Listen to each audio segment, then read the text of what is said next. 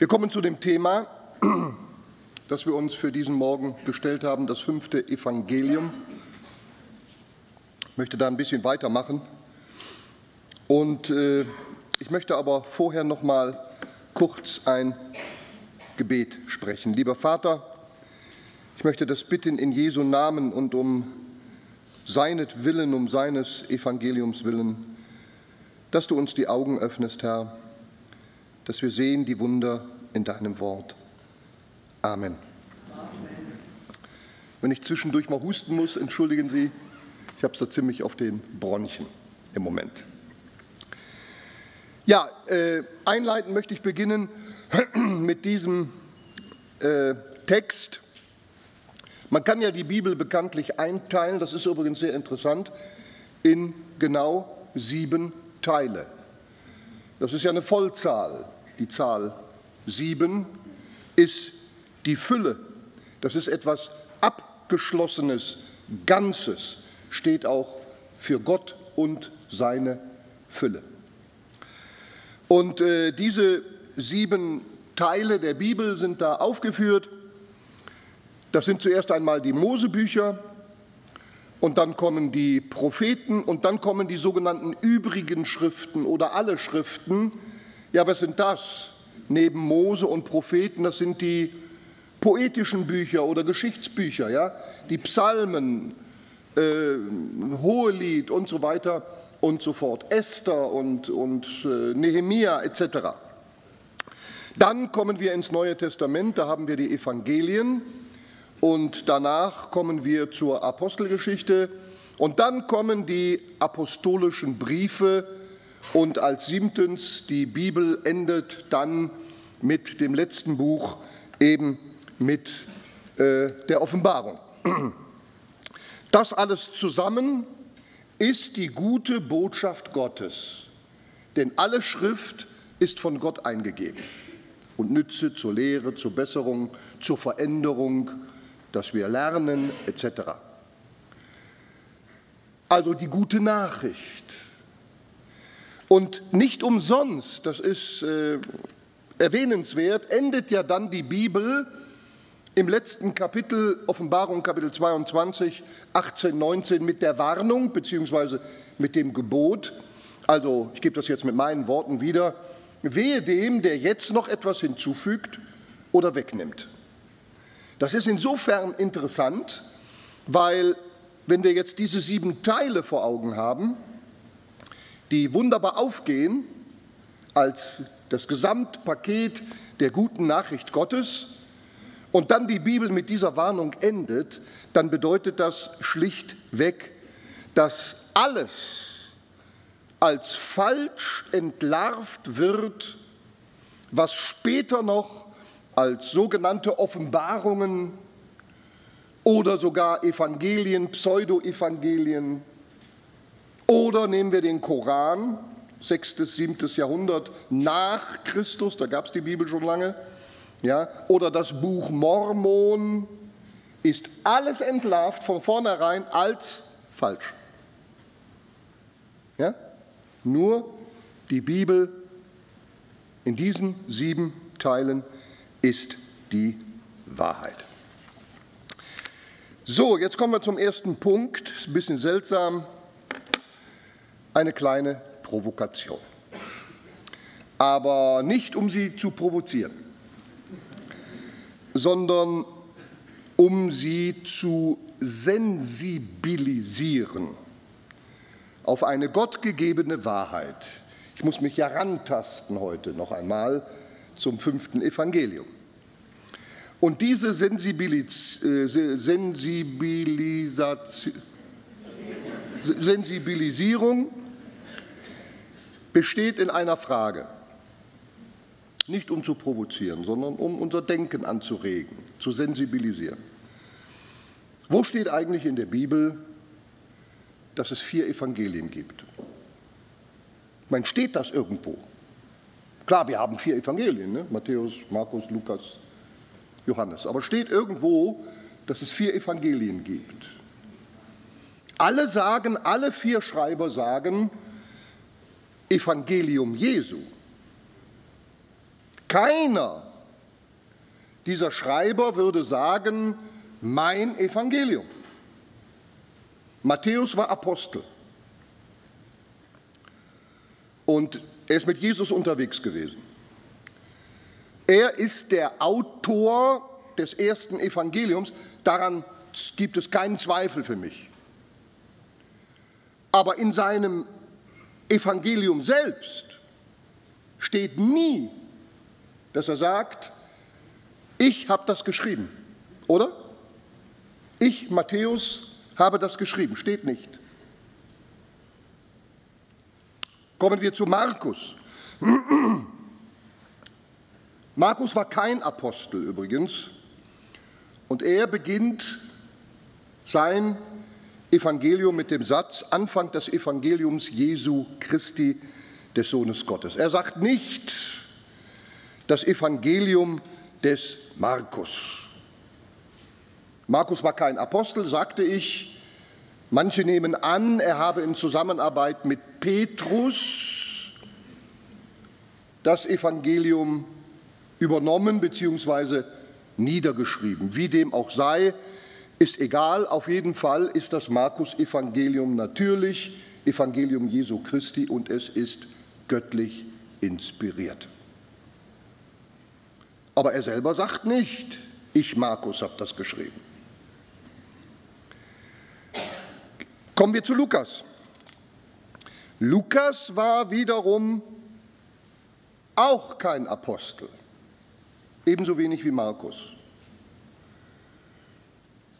Und er ist wahrscheinlich der einzige Grieche, der im Neuen Testament ein Buch verfasst hat. Das ist wunderbar. Und dieser, dieser Markus, äh, Entschuldigung, dieser Lukas hat die Apostelgeschichte geschrieben. Und in der Apostelgeschichte, da heißt es immer mal wieder, dass er in der Wir-Form schreibt. Ja, wir, also er war mit Paulus und anderen unterwegs und dann sagt er, wir aber gingen von da nach da und so weiter und so fort. Und das zeigt, ah, dann muss er ja der Autor der Apostelgeschichte gewesen sein. Und er richtet die Apostelgeschichte an einen Mann namens Theophilus. Und das ist mit dem Lukasevangelium genauso, das ist ja vorher entstanden. Selbe Adressat, auch ein Theophilus. Und dann sagt Lukas in den ersten drei Versen, wie sein Evangelium zustande gekommen ist. Er sagt, ich habe recherchiert. Er hat es nicht direkt durch eine Offenbarung von Jesus bekommen. Wohl inspiriert durch den Heiligen Geist, wie die anderen auch. Aber er musste etwas tun. Er musste, er musste die, er, ihm, ihm, ihm lagen die Überlieferungen der Augenzeugen vor. Da konnte er nachfragen oder nachschauen, sich orientieren, sich dran anlehnen. Ah, die Apostel. Und dann sagt er, und dann habe ich ganz genau nachgeforscht. Also, ich sage es noch einmal, Lukas hat äh, recherchiert. Er war ein Geschichtsschreiber, ein Historiker, allerdings ein inspirierter Historiker. Aber auch in seinem Evangelium, obwohl natürlich die Indizien sprechen für sich, ich zweifle nicht, dass Markus der Autor vom Markus-Evangelium ist und Matthäus ebenfalls und, und Lukas auch. Aber was ich sagen möchte, es geht um Sensibilisation. Äh, in seinem Evangelium selbst steht es nicht. Steht nicht, obwohl es so ist, aber steht nicht. Ja? Ja gut, dann kommen wir zum Johannes. Johannes-Evangelium, das vierte Evangelium. Johannes war nun wieder Apostel. Also der war Augenzeuge, der war selber dabei. Der musste nicht recherchieren, wie Lukas. Ja? Er war selber dabei. Und er nennt sich ja, das ist so schön, so, so, also man nimmt das an, es steht auch nicht so geschrieben, aber man nimmt das an. Er, er sagt ja mehrere Male, den Jünger, den Jesus lieb hatte. Wissen Sie das? Kennen Sie das? Ja? Und da, und da spricht er wahrscheinlich von sich selber. Er wollte seinen Namen nicht erwähnen, seinen eigenen Namen, ich Johannes. Und darum hat er so in, in dritter Form geschrieben, ja, den Jünger, den Jesus lieb hat. Und dann nimmt man an, zu Recht, damit meint er sich selber.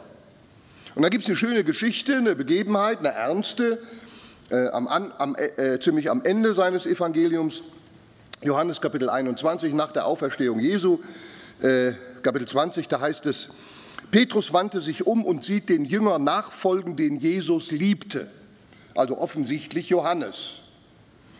Und äh, dann stellt äh, Petrus, stellt dann dem Herrn die Frage, du, was wird denn aus dem? Und dann sagt der Herr, du, das geht dich gar nichts an. Wenn ich will, dass der bleibt, bis ich wiederkomme, folge du mir nach. Ja? Und dann heißt es in Vers 24, dies ist der Jünger, Johannes Evangelium, der das geschrieben hat, der von diesen Dingen zeugt und der dieses geschrieben hat. Und wir wissen, dass sein Zeugnis wahr ist. Also, das Johannesevangelium hat offensichtlich der Jünger geschrieben, den Jesus lieb hatte. Und das war mit großer Wahrscheinlichkeit Johannes. Aber es steht auch da nicht klipp und klar. Es steht nirgends, ich, Johannes, habe das geschrieben. Wir zweifeln nicht daran. Indizien, Überlieferungen, hebräischer Brauchtum, alles spricht dafür, auch inhaltlich äh, in der Bibel, aber eben, ich will sensibilisieren. So, und Sie werden auch wissen, warum. Jetzt kommen wir zu Paulus. Wir haben eben gelesen, Galater 1, Paulus war berufener Apostel. Kein Historiker, der musste keine anderen fragen, wie Markus vielleicht den Petrus oder wie Lukas recherchieren musste und die Augenzeugen befragen musste, forschen musste. Nein, er war selber berufener Apostel Jesu Christi. Und er sagt nun, Römer 2,16, an dem Tag, da hat äh, Freddy geredet drüber, letzten Donnerstag, da Gott das Verborgene der Menschen richten wird nach meinem Evangelium durch Jesus Christus. Ja, deutlicher geht es doch nicht, oder? Da muss, da müssen, da brauchen wir keine Indizien. Da brauchen wir keine Überlieferungen. Das steht ja eindeutig da. Ich habe das geschrieben. Das ist mein Evangelium. Und achten Sie mal auf den Stellenwert seines Evangeliums, dass er sogar so weit geht, dass er sagt, das wird ein Kriterium sein für den Tag des Gerichtes. Puh. Gehen wir ein bisschen weiter. Römer 16, 25. Dem aber, der euch befestigen mag, vermag, nach meinem Evangelium und der Predigt von Jesus Christus nach der Offenbarung des Geheimnisses, das ewige Zeiten hindurch verschwiegen war. Also jetzt müssen wir das mal zerlegen. Er sagt wieder, mein Evangelium, und was sagt er dann als Zusatz? Er sagt, mein Evangelium ist ein Evangelium Jesu Christi und eine Offenbarung eines Geheimnisses, das vorher nicht bekannt war. Nicht mal in den vier Evangelien geschweige denn im Alten Testament. Ich habe ein Evangelium bekommen, das steht nicht im Kontra zu den anderen Evangelien, ist eine Ergänzung, eine Fortsetzung. Aber er sagt, ich habe ein Evangelium bekommen, das geht weiter. Das ist ein Geheimnis, das Geheimnis einer Offenbarung, die der Herr mir gegeben hat. Und dann 2. Timotheus 2,8, das ist auch das Thema für die Israel-Konferenz, halte im Gedächtnis Jesus Christus auferweckt aus den Toten, äh, aus dem Geschlecht Davids nach meinem Evangelium. Also ich sage noch einmal, deutlicher geht es nicht. Also jetzt, hm, wenn es vier Evangelien gibt und Paulus von seinem Evangelium spricht, dann ist das doch schlichtweg auch eins, oder nicht? Ist es eins oder ist es keins?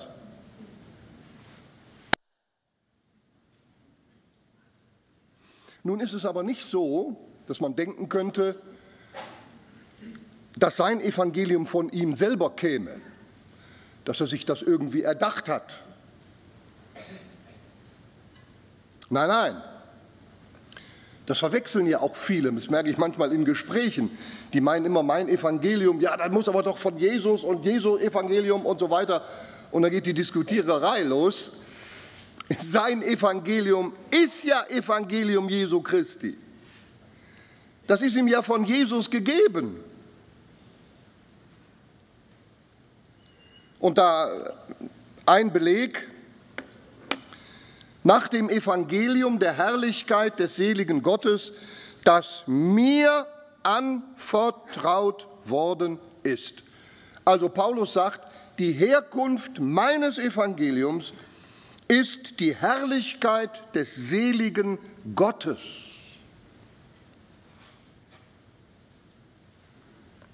Und darum nennt er sein Evangelium auch noch mit anderen Bezeichnungen. Er sagt, mein Evangelium, er sagt aber auch, weil es ihm ja von Gott gegeben ist, Evangelium Gottes, Evangelium der Gnade, der vollkommenen Gnade, Evangelium der Herrlichkeit, Evangelium Jesu Christi. Also unter dem Strich möchte ich das nochmal betonen. Das Evangelium, das der Herr ihm gab, ist einfach, schlicht und einfach eine Fortsetzung der vier Evangelien, aber in erweiterter Form. Es kommen Zusätze hinzu, die vorher nicht bekannt waren. Und darum ist das für mich jetzt auch persönlich ein Anliegen, mich mit diesem Evangelium zu befassen, dass ich nicht nur, nur, es ist ja notwendig, aber ganz vorne stecken bleibe, sondern wirklich auch weiterkomme, ja, was hat Gott denn da noch alles in seinem Gewandbausch, ja, was er rausholt und mir schenken möchte? Und das zeigt er dem Paulus. Und darum der Sinn des Evangeliums Gottes, das er Paulus anvertraut hat. Bleiben wir beim Sensibilisieren oder provozieren, obwohl ich sie nicht provoziere. Warum hat Gott statt vier nicht ein ausführlicheres Evangelium gegeben? Haben Sie sich das mal gefragt? Ich meine, wir haben vier Evangelien am Anfang der Bibel des Neuen Testamentes, aber er hätte das doch zusammenfassen können in einem großen, oder nicht? Manche Sachen, nicht wenige Sachen wiederholen sich ja sogar. Das hätte eine Erwähnung gereicht, das andere hätte man weggelassen und das, was zusätzlich noch hinzugekommen ist, ja, da macht man ein großes raus. Dann hätte das eine Evangelium dann eben 40 Kapitel gehabt oder 50. Ne?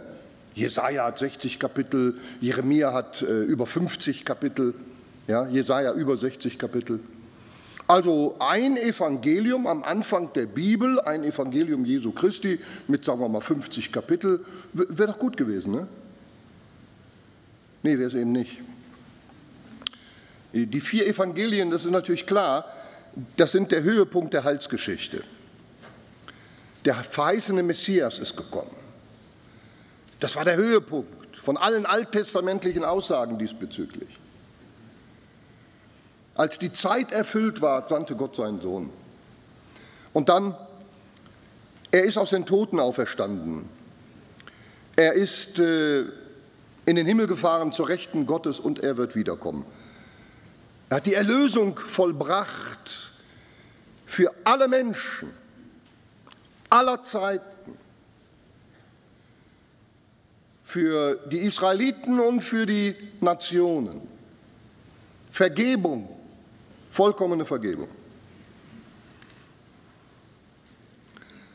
Aber warum vier Evangelien? Der Heilige Geist Gottes hat aus dem Leben Jesu vier Evangelien gemacht, um damit vier besondere Ziele zu erreichen. Wir hatten das, glaube ich, das letzte Mal schon lange her, werden Sie vergessen haben. Da bin ich ein bisschen darauf eingegangen. Er setzt damit vier Schwerpunkte. Er hat ein Ziel. Und das hat er mit dem Evangelium von Paulus doch auch. Gehen wir ein bisschen weiter mit der Sensibilisierung. Warum hat Gott nun überhaupt noch den Apostel Paulus berufen? Wäre das überhaupt nötig gewesen? Der Allmächtige hätte doch das, was Herr Paulus offenbarte, zusätzlich den anderen Aposteln geben können. Petrus, der größte der Apostel, der Vorreiter, ja, der schreibt zwei kleine Brieflein im Neuen Testament. Jakobus, ein kurzes Büchlein.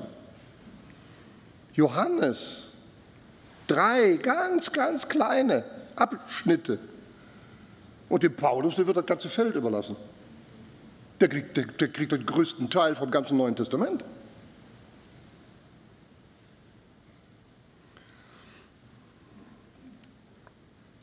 Es hat heilsgeschichtlichen Sinn. Der Allmächtige beruft Paulus zum Apostel der Nationen. So urplötzlich, wie die Gemeinde aus dem Nichts entstand, also als Leib Christi, die Nationen mitgerettet werden,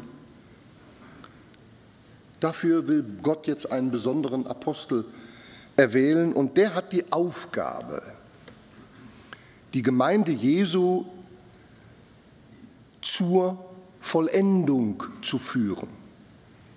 Darum seine, ist sein Evangelium so wichtig. Er will in tiefere, verborgene, weiterführende Heilswahrheiten hineinbringen. Es dreht sich dabei um Enthüllungen, die der irdische Christus damals noch nicht gesagt hat aber die jetzt der himmlische Christus dem Paulus offenbart. Außerdem, das ist das Herrliche, geht es darum, den Jesus Christus dem höchsten Triumph zuzuführen, den Gott der Vater für Gott den Sohn bereitet hat. Wissen Sie, Gott Vater will nicht nur, das könnte man jetzt denken, wenn man so die vier Evangelien liest, ja, Gott der Vater will nicht nur Erlöste zuführen. Er will viel mehr. Er will seinem Sohn, und das war eben ein Geheimnis im Alten Testament, einen Leib zuführen, ein verborgenes Geheimnis, Glieder seines Leibes. Und das wurde dem Apostel eben offenbart für uns als Gemeinde. Und darum nennt ja, man höre und staune, darum nennt ja der Apostel Paulus sein Evangelium auch die Vollendung des Wortes Gottes. Stellen Sie sich das mal vor. Ich bin im Blick auf euch, auf Gemeinde Jesu, bin ich der Vollender des Wortes Gottes. Kolosser Kapitel 1, Vers 25.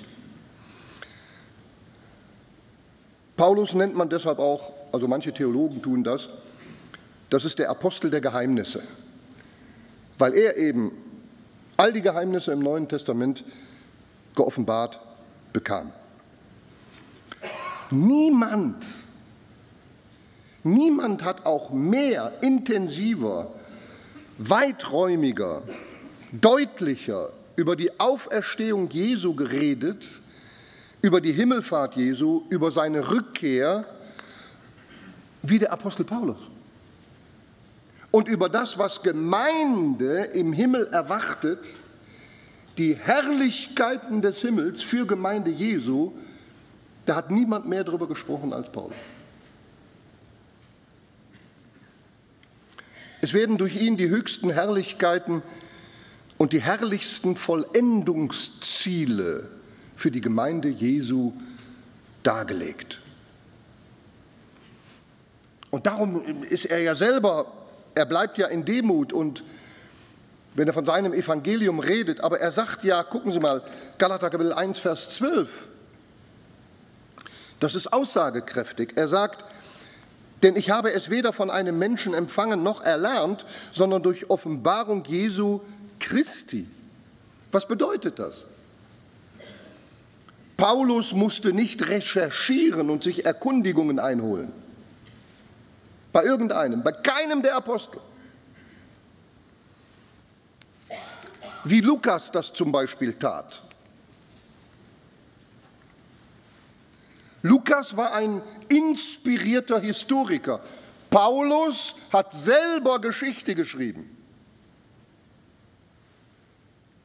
Und das, was er empfangen hat, gucken Sie sich den Vers an.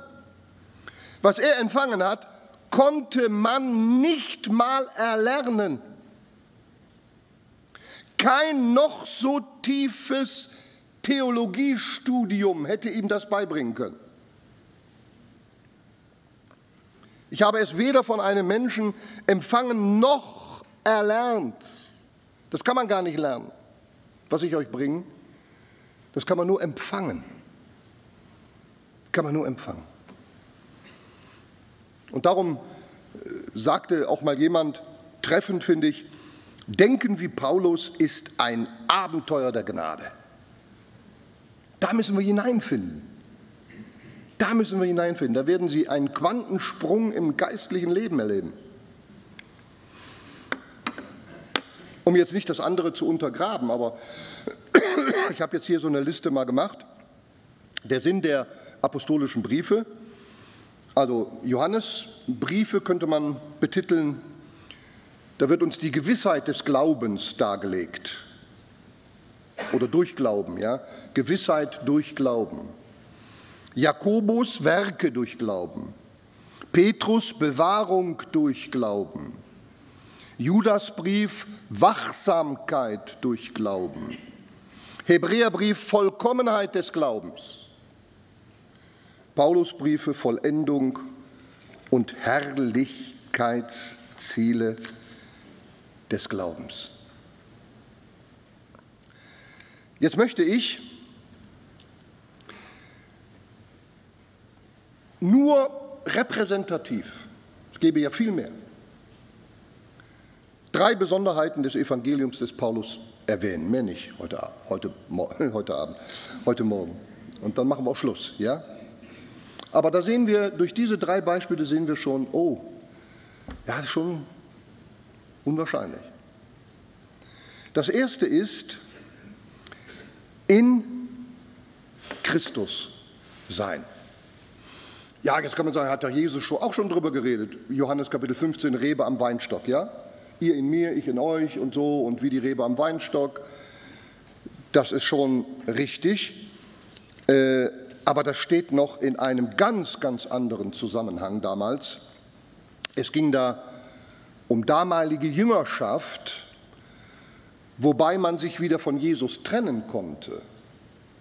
Und das ist ja auch passiert, ja, Johannes Kapitel 6, Vers 66. Von da an gingen viele hinter sich und gingen nicht mehr mit Jesus. Die haben sich von ihm getrennt. Die gehörten zu ihm, das waren Jünger. Oder denken wir an Judas. Ja? Und da meinen jetzt eben dann auch viele, wenn man dabei stehen bleibt, ja, da muss ich aber aufpassen, ja, und äh, nicht, dass ich abgeschnitten werde und verbrannt und in die Hölle komme und so, so Gehenna und so weiter und so fort ist für viele ein Problem. Und darum die tiefe Bedeutung der Heilslehre für Gemeinde eines Kindes Gottes, in sich in Christus zu befinden. Was das bedeutet, das ist dem Paulus gegeben. Und das kommt in seinen Briefen ungefähr 80 Mal vor. In Christus. Haben Sie das schon mal erforscht? Wir haben da ein schönes Buch, äh, Meine Identität in Christus. Der Mann hat das ausgearbeitet, nur die Paulus-Hinweise, nur die Paulus-Hinweise. Und da hat er 100 Kapitel rausgemacht. Kann man so für jeden Tag ein Kapitel lesen, wie ein Andachtsbuch. Also mir hat das unwahrscheinlich viel gebracht. Die Bedeutung, die tiefe Heilsbedeutung, sich in Christus zu befinden. Was das für mich bedeutet, auch für meinen Alltag, auch für das Umgestaltetwerden. Ist unglaublich, ja? Das prägt uns, auch unser Denken. Paulus sagt zum Beispiel, also ist jetzt keine Verdammnis für die, die in Christus Jesus sind. Ist das nicht eine herrliche Aussage? Johannes sagt, der Geist, der in euch ist, der bleibt in euch. Petrus auch. Ergänzend, wunderbar, dass es diese Parallelen gibt. Grüßt einander mit dem Kuss der Liebe. Friede sei euch allen, die ihr in Christus Jesus seid. Aber die Darlegung der Bedeutung in Christus zu sein, das ist dem Paulus gegeben. Der legt das so richtig dar, was das für uns bedeutet. Und ich finde, viel zu viele Christen sind sich viel zu wenig bewusst, dass sie sich in Christus befinden. Ja, wir sagen immer, ich auch, komm mit, geh voran, ebne den Weg und so darf man auch beten. Aber manchmal halte ich an und sage, Mensch, du bist ja da. Darum kann ich an jedem Ort beten, weil er immer da ist. Das erinnert mich an eine Geschichte aus diesem Buch, meine Identität in Christus. Da ist äh, eine Reisegruppe und der Autor dieses Buches ist selber dabei. Da ist er mit einer Reisegruppe in einem Car, also in einem Bus, in einem Reisebus unterwegs und sie wollen einen Ausflug machen zum Grand Canyon. Und äh, der Busfahrer hat dann angehalten, hat gesagt, so, ihr könnt jetzt alle aussteigen, zwei Stunden hole ich euch wieder ab. Ja, gut. Und dann sind die ausgestiegen und dann haben die sich alle umgeguckt und gesagt, ja Mensch, hier stehen ja gar keine Schilder. Wo ist denn der Grand Canyon? Und dann etwas verunsichert, da kam so ein Ranger, etwas verunsichert, fragen Sie den, äh, entschuldigen Sie, können Sie uns sagen, wo es hier zum, zum Grand Canyon geht? Und da muss der lachen. Und da sagt der Buchautor, das war die peinlichste Frage meines Lebens. Der musste lachen, weil wir befanden uns ja mitten im Grand Canyon.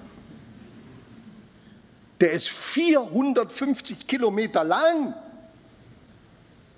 So lang wie die Schweiz. Oder? Ungefähr, ne?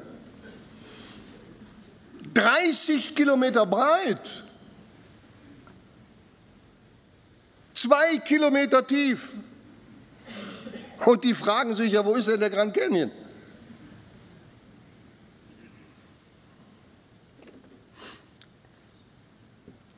Manche suchen Jesus irgendwo, da ertappe ich mich dann auch immer wieder bei, und man vergisst, man befindet sich ja mitten in ihm und in seinem ganzen Reichtum. Kolosser 1, 27, denen Gott kundtun wollte, welches der Reichtum der Herrlichkeit dieses Geheimnisses ist unter den Nationen, das ist Christus in euch, die Hoffnung der Herrlichkeit. Und dann schreibt eben der Autor, der schreibt, diese Frage, wo ist denn der Grand Canyon, sollten wir uns auch in Bezug auf unser In Christus sein stellen. Es ist das weitläufigste und tiefgründigste Thema der Briefe des Apostel Paulus, sozusagen der Grand Canyon seiner Briefe. Und doch reden wir fast nie darüber. Und das ist eben meine Last. Das ist meine Last. Ohne das andere abzuwürgen, es ist alles gleich wichtig, alles von Gott gegeben. Aber ich merke, wie oberflächlich wir manchmal, ich bin ja froh, dass wir die durchnehmen, ja, auch in unserer Bibelgebetstunde oder in der GBSM. Aber so weit, weit auf und ab sieht man, man redet über alles sehr viel, sehr oft aber sehr wenig über diese Briefe. Ja, äh, ein zweiter Punkt, auch ein bisschen provokant,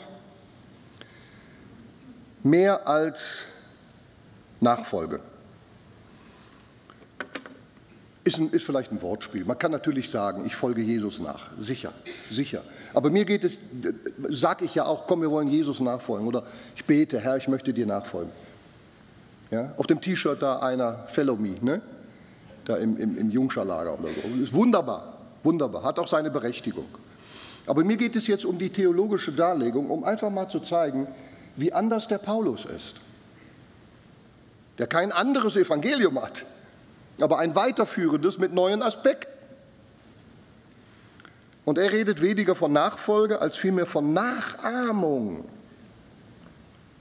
Er sagt immer Nachahmung. Gucken Sie mal hier, Kolosser 2, Vers 6 zum Beispiel. Wie ihr nun den Christus Jesus, den Herrn, empfangen habt, so wandelt in ihm. Nicht ihm nachfolgen.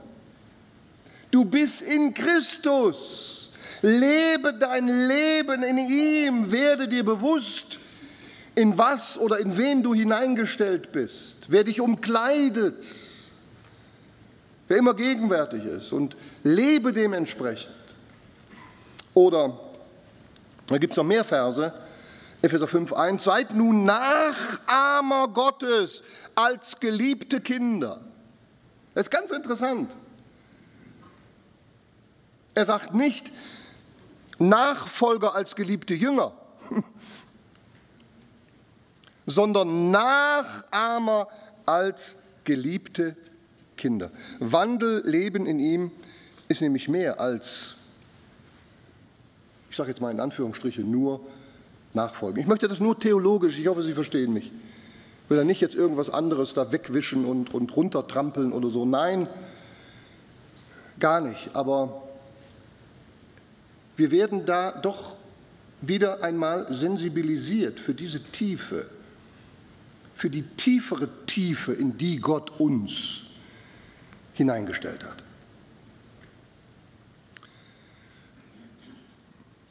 Nachfolge gehört nämlich zur Jüngerschaft, Nachahmung gehört zur Kindschaft. Wandel in ihm gehört zur Zugehörigkeit des Leibes.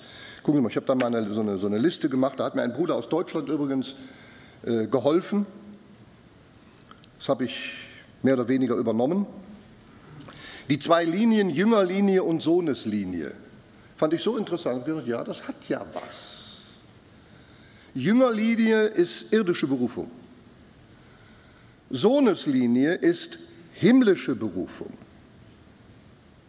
Ja, die Gemeinde Jesu als der Leib vor Grundlegung der Welt berufen. Jüngerlinie keine Verwandtschaft. Sohneslinie, wir sind Söhne und Töchter eines Vaters im Himmel. Jüngerlinie war offenbar, war nie ein Geheimnis, gab es schon. Sohneslinie ist ein Geheimnis, Gemeinde Jesu als der Leib. Jüngerlinie, Gesetz, Werke,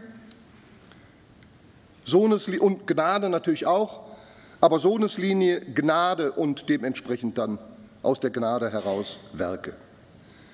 Jüngerlinie Israel, Johannes der Täufer, ja, der, der hatte schon seine Jünger, Pharisäer hatten ihre Jünger, aber Sohneslinie Leibesgemeinde. Jüngerlinie, gut, das, das ist jetzt mein, ja, nach meiner Erkenntnis, Israel, Jüngerlinie Braut, Sohneslinie Leib Christi, Glieder. Wir sind Glieder des Leibes des Christus.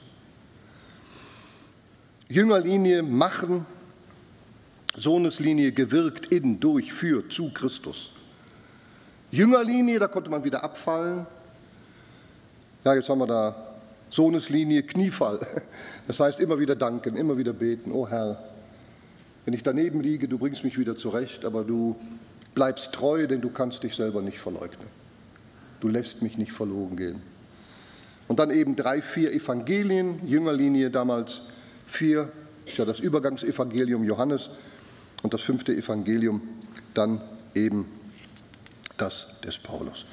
Es geht um nicht um Gesetzesgehorsam bei Paulus, es geht um Glaubensgehorsam und das müssen wir schon feststellen. Wir dürfen jetzt nicht sagen, ja, jetzt ist der Paulus, jetzt ach, jetzt sind wir in Christus, jetzt haben wir die totale volle Gnade, jetzt können wir machen, was wir wollen. Nein, das wisst ihr, dass das nicht gemeint ist. Die Botschaft des Paulus ist frei vom Gesetz Mose, Vollkommene Gnade, jawohl. Diener eines neuen Bundes, ja. Aber diesem Bund sind wir vollumfänglich im Glaubensgehorsam und täglicher Heiligung verpflichtet. Ich möchte auch da jetzt nur, nur zwei Verse noch erwähnen hier. Denn einst wart ihr Finsternis, jetzt seid ihr Licht in dem Herrn, wandelt als Kinder des Lichts. Klare, unmissverständliche Aufgabe, Aufforderung. Oder äh, Römer 6, 13, stellt auch nicht eure Glieder der Sünde als äh, der Sünde dar zu Werkzeugen der Ungerechtigkeit, sondern stellt euch selbst Gott dar als Lebende aus den Toten und eure Glieder Gott zu Werkzeugen der Gerechtigkeit. Und er geht manchmal mit Gemeinden, ja, das sehen wir ja im Korintherbrief, aber auch im Epheserbrief und so, Galaterbrief, er geht da mit Gemeinden manchmal ganz stark ins Gericht. Der sagt, ruht euch nicht auf dem Polster der Gnade aus, also bitte, ja.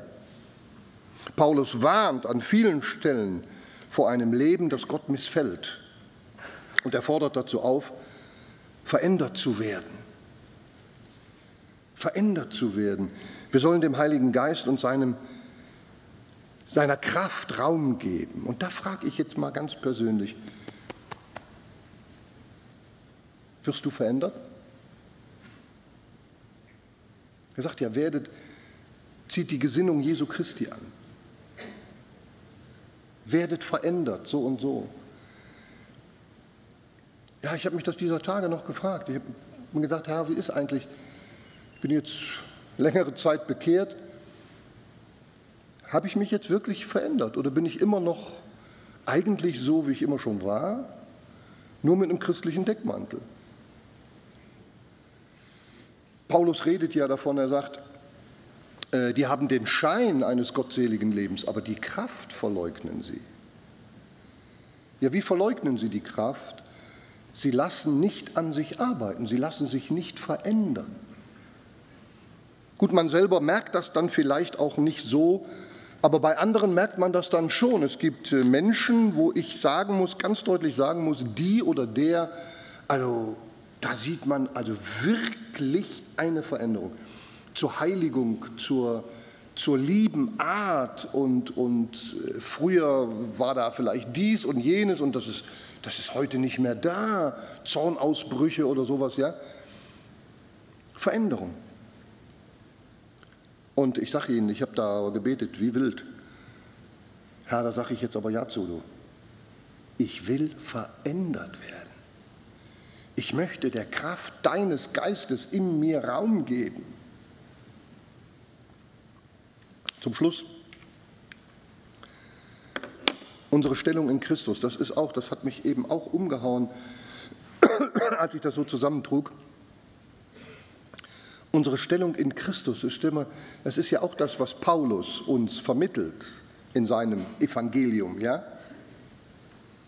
Wenn wir das wissen, also schon alleine das dient dazu, dass wir umgestaltet werden oder verändert werden oder loben und, und ein, ein anderes Leben leben wollen.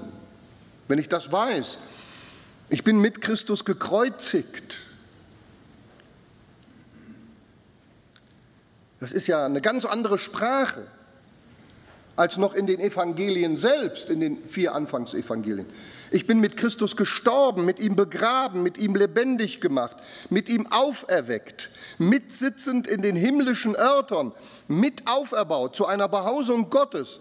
Wir sind Miterben, mit einverleibt, mit Teilhaber. Also, das sprengt doch alle Verheißungen. Das ist unsere Stellung. Und dazu dient das. Und wir dürfen daraus drei Dinge lernen. Das erste ist, ja, das habe ich noch als Präsentation, dass der himmlische Vater seine Kinder so sieht. Das, was ich jetzt aufgezählt habe, mit Christus gekreuzigt, gestorben, begraben und so lebendig gemacht, so sieht Gott dich. Das ist sein Wort. Das ist das, was er seinem Sohn zufügen wollte im sogenannten fünften Evangelium des Apostel Paulus. So sieht dich Gott. Und wenn Gott dich so sieht, dann darfst du dich doch auch so sehen. Und diese Glaubensstellung einnehmen. Und aus dieser Glaubensstellung dann oder Glaubenshaltung heraus dürfen wir ein neues Leben leben. Also es geht nicht um ein Abweichen von gegebenen Wahrheiten, die absolut da sind und die die Grundlage sind, sondern es geht um ein tieferes Hineingeführt werden in neue Wahrheiten. Und nochmal, dazu dient das fünfte Evangelium. Auch die anderen apostolischen Briefe. Aber da muss man ja auch immer wieder darauf achten, welchen Blickwinkel die haben, ja, welche Schwerpunkte die haben und für wen. Möge der Herr uns einfach Gnade geben. Und möge es ein Anreiz sein, dass Sie vielleicht sich vertieft mit dieser Thematik befassen, mit den Briefen. Ja. Und äh, ja, ich weiß nicht, ob wir das noch im Büchertisch haben überhaupt, dieses Buch Meine Identität in Christus. Äh, Wer es noch nicht hat, viele haben es ja schon mal gekauft, besorgen Sie sich das und, und machen Sie das mal. Diese 100 Andachten oder Kapitel sind immer nur relativ kleine Kapitel. Aber da merken Sie, so klasse. Und die sind so gewürzt, herrlich. Amen. Schluss. Norbert, hör auf.